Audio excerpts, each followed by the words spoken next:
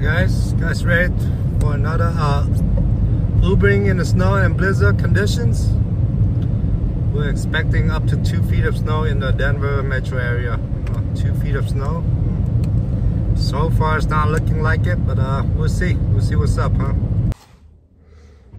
Alright, so so far there's been like over a hundred uh, flights canceled at Denver International. So today mostly it's gonna be uh, from uh, home to work, from work to home. Hmm. If I get a really good uh, high paying Uber Eats order, I'll take it. Besides that, we're just gonna focus on UberX and Lyft. Huh? Hmm. By the way, if you enjoy the content on this channel, uh, make sure to subscribe to my main channel, Side Hustle Addict. Side Hustle Addict on the main channel, huh? Hmm. If you enjoy the content on this channel, please subscribe to the main channel, Side Hustle Addict. Look at that guy, what the fuck's he doing? I don't know if you guys saw that or not.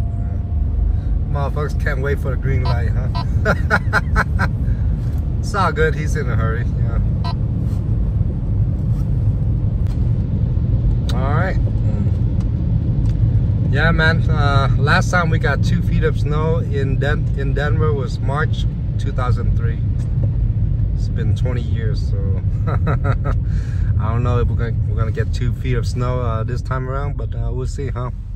anyways uh that's all for today's video. Yeah if you enjoy, enjoy the content please this please give this channel a uh, subscribe and please go to my main channel. I'm out guys. See you guys on the next one. Peace